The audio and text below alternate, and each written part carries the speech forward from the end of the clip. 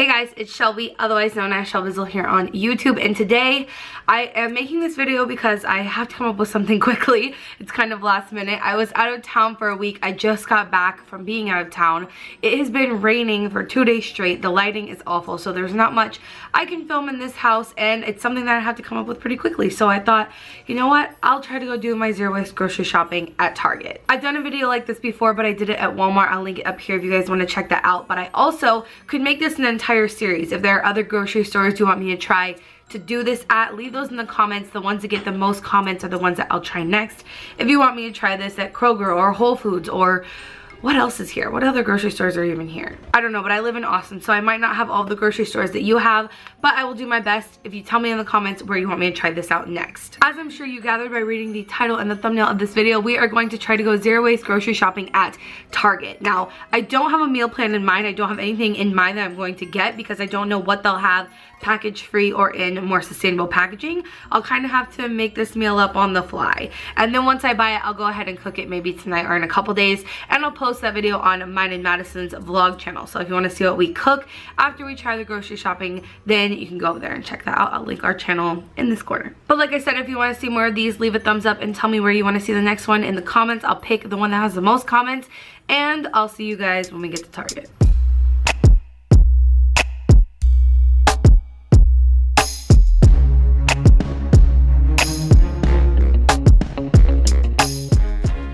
I just made it to Target. I don't know if you can see peeking right there, that's Target. Um, I wanted to show you guys that what I'm bringing are just a few produce bags and a few little like collapsible grocery bags. It's just easier when I'm by myself to do it this way. When Madison and I go do our big grocery shops, um, we bring like this huge bag of reusable bags that we have and we also have quite a few more produce bags. Um, but it's easier when it's just me and I'm just grabbing a few things to bring these. This is one of the things I got from Earth Hero. Um, it comes with three produce bags in there and it all fits in this little thing. And I can just throw that in my backpack really easily. So this is all I'll need for today. I also wanted to share with you as we're walking in what materials we will be prioritizing and why we will be prioritizing those materials. So the reason we're going to be prioritizing things other than plastic is because plastic is actually the most toxic form of like packaging that you can find. It doesn't really biodegrade. It has a biodegradation time of like thousands of years, but all that really means is that the microplastics will be so small that they won't be able to be like associated with the original product. But really plastic lasts in the environment forever in things that we call called microplastics. And little bitty organisms eat those microplastics, which bigger organisms eat those, and so on and so forth up the food chain. And it is a very toxic thing that happens in our food chain. So plastic doesn't biodegrade. It also is really hard to recycle, especially thin plastics. They are very, very rarely actually recycled. And even when they can be, they can only be recycled once. Same thing with like thicker plastics. Some of those can be recycled more than once, but most of the time plastics are only able to be made back into one other thing before they are no longer able to be recycled at all. So that leads me to why we will be prioritizing things that are package free, that are packaged in cardboard, minimal plastic, metals, and glass. That's because metal and glass can be recycled an infinite amount of times. A glass bottle can literally be turned into another glass bottle over and over and over. Same thing with metal. Cardboard can always be turned into the exact same thing, but it can be composted and it can most of the times be recycled more times than plastic, of course, and it also naturally composts and biodegrades So that's why we'll be prioritizing the materials that we're going to be using today. Let's go ahead and get into it.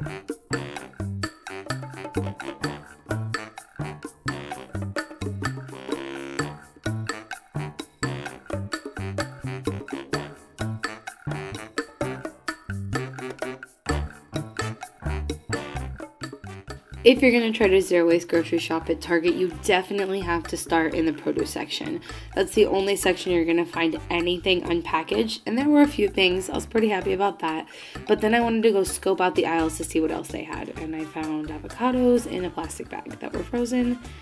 Walk away from that. I also wanted to see how they had beans packaged, if they happen to have any anything better than plastic, and they did have tin cans, so that was good. And then all of their rices were in plastic bags, so that was a bummer. But this one didn't seem to have any plastic. Okay, so now I've walked all the aisles over there. I kind of have a feel for what they have to offer. I'm thinking either I'm going to make something with pasta or maybe with quinoa. I'm definitely going to get some tomatoes, some onions, and build a meal around those things because I can get those completely package free. It's always weird to vlog in public because you don't know what the like rules are, where you are, or if people are gonna think you're a freak or what's going on. So I'm trying to do it like a little low key. So let's go back to the food and get what we want. Need the produce bags for the tomatoes and the onions and stuff like that.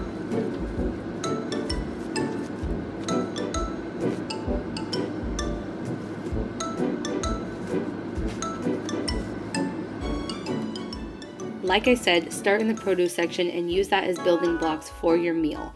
I couldn't get garlic without plastic around it, that was a bummer, but I could get an onion, and then I could also get some green peas in metal. Like we said, metal is better than plastic, and once I open this one, we'll find out if there's any plastic in there, but I'm hoping there isn't.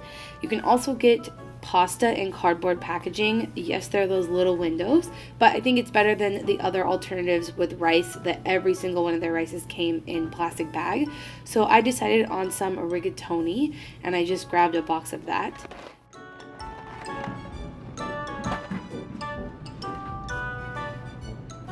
I also feel like I should turn around and get the couscous because it sounds like there is no plastic in there. If there was a plastic bag, I'd say nah. But then I wanted to head over to the spices because I had intended to make a pasta with the tomatoes and the rigatoni, but literally all of their spices were in plastic except for these.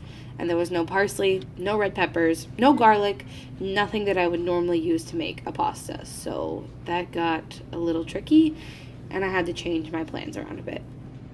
Being able to find package-free tomatoes to make a pasta, not really helpful if I can't find uh, anything to flavor it So instead of opting to use the tomatoes as pasta sauce, I went ahead and went over to get a already flavored tomato sauce since I couldn't find any that were packaged in anything other than plastic and tapping on pasta jars is like one of my favorite hobbies. Newman's changed to plastic, so skip that. Okay, so since we can't make pasta with the tomatoes, I decided I'll make a salad with the tomatoes and cucumbers and oil and vinegar and like salt and pepper and I think that will be good. So we need a couple of these. Two should be fine. Should I put them in a bag? Mm, they might be okay like that. Last time I did this, it was challenging, so I was expecting a challenge, but I feel like everything I come up with, I then run into like another issue and I can't do it. So well, we'll figure it out though. Together we will figure it out.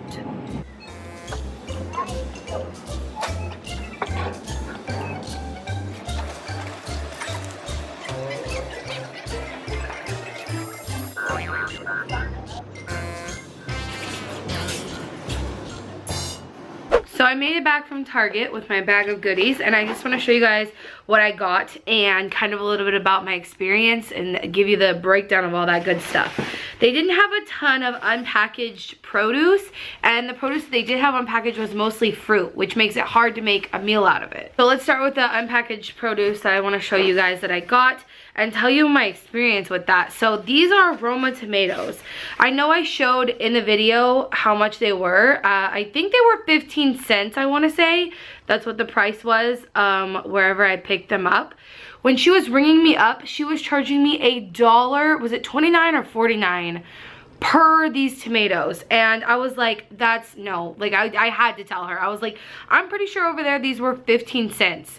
And so she rang them up but she, I think she thought I said 50 so she charged me 50 cents for each of these tomatoes which wasn't right but I didn't want to correct her again so I just paid it. But Target is obviously not like priorities their priorities are not produce so uh, just beware if you're going to go buy like unpackaged produce where they don't just scan a barcode at Target, watch what they're ringing it up for because that was insane. Like I almost paid like $7 for these tomatoes. In what in what world? Please tell me. And then similar thing happened with the cucumbers. I know they were 50 cents, but I let that one go because I only got two of them, but she did charge me, I think like a dollar fifty for each of these cucumbers. But I got two cucumbers and two bell peppers. Well, I guess I'll explain to you what I'm gonna make after all this. But anyway, so I got two bell peppers peppers, two cucumbers.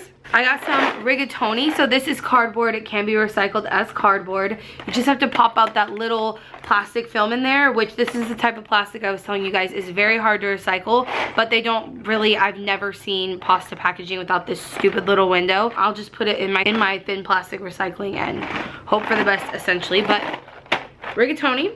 And then I did pick up some sweet peas in a can. We will find out when I open this if it has a plastic lining or not. Have to be aware of that, but it's something that you can't really tell unless you buy it and you open it unless you've bought them before. So I've never bought these. We'll find out if there's plastic lining or not. I got a tri-bean, a three-bean blend, kidney pinto, and black beans. This should be good for the other meal I'm gonna make. So I got stuff to make two separate meals. I'll explain to you what they are when I'm done showing you what all I got. I did pick up some of this, which is in glass. I love that sound, always do. Uh, organic chili powder. I think it's Target's brand, I think is what that is. So I just picked up some of that. And then I got an onion. And I got this couscous, which you can hear is loose in there. It's not in a plastic bag, so I got it. And last thing I got is just some pasta sauce. I'm pretty basic. I used to really like Newman's own basic one, then they switched those over to plastic. So I just went ahead and bought, what brand is this? I think this is Target's brand, so this should be good. Um, so the plans with this are to use this pasta sauce and rigatoni as well as the sweet peas to make a rigatoni. Normally I would put a lot of garlic and red pepper into this, but if this is all you have, if Target is all you have to shop at, this is a decent meal with all recyclable materials that is plastic free. So that's the first meal I'm gonna make. And then the second one I'm gonna make, I think is gonna be a lot better. The second one is gonna be like couscous and beans. And I'm gonna, this is already flavored. It's like a roasted garlic and olive oil flavor. But I'm gonna flavor these beans with the organic chili powder that I snagged. And then on the side of all of that, I'm going to make a cucumber, tomato, onion, and maybe bell pepper. I think bell pepper could be good to add to this. But like basically like a little salad. So I'm gonna chop all these up, mix them all together with oil and vinegar. And I didn't get oil or vinegar because I already have it at my house in glass. But they did have it there in glass, so I wanted to make sure you guys knew that. You can get it there uh, plastic free. And yeah, that was just a quick grocery haul from Target to show you what you can and can't get plastic free or zero waste, if you will, from Target. It's definitely a challenge. I wanted to make this video because a lot of people tell me they don't have access to bulk. They don't have access to like health food stores or package free shops, those sort of things. So I think it's important to keep in mind that you can still make better choices at places like this, but it's not necessarily going to be zero packaging or zero waste because, you know, we still have like that little plastic. I'm not really sure if it'll be recycled, but like we said in the beginning, glass and metal can be recycled infinitely. So it's a much better choice than plastic in terms of recycling. So I hope this gave you some like motivation, inspiration, that sort of thing. Um, I know it's a new year and a lot of people are trying to eat healthier, myself included. So I figured this would be a good time to talk more about grocery I actually buy most of my produce right now from a company called Imperfect Produce. They take produce that would have otherwise been wasted, like literally thrown out at the supermarket because of how it looked uh, or because it was surplus and then they ship it straight to my front door. It's very cheap, very affordable. I actually have a coupon code where you guys can get half off of your first box. I'll link it in the description if you want to check that out. And if they're not already in your city, you can join the waitlist to see when they do come to your city. But if you don't have any of those things, I wish you the best of luck trying to zero waste grocery shop at places like Target or Walmart or anything like that. And if you want to see a specific grocery store next, me trying this out, leave it in the comments. Also, if you think there was a better meal I could have made from what you saw that they had, let me know. It's always hard to go in there and like try to see what's available and then like base a meal off that. It's like very difficult because normally you plan your meals before you go to the grocery store and this way it was just a little harder. So I would love to hear what ideas you guys have for creating meals without plastic packaging at conventional grocery stores. Okay that's pretty much it but if you want to see me cooking this make sure you're following my vlog channel. I'm gonna probably make this tonight because Madison and I agreed that last night we ate out so tonight we can't. Yeah. So I'm probably gonna cook one of these meals tonight and I will record it for the vlog channel so that it's up at the same time as this video. I'm also doing the minimalism challenge over there um, where I'm decluttering a item from my house for every day day of the month. So it's going to be hundreds of items and I'll do the wrap up on my channel once it's over. But that is it. Thank you guys so much for watching. Remember, until next time, you cannot do all the good that the world needs, but the world needs all the good that you can do.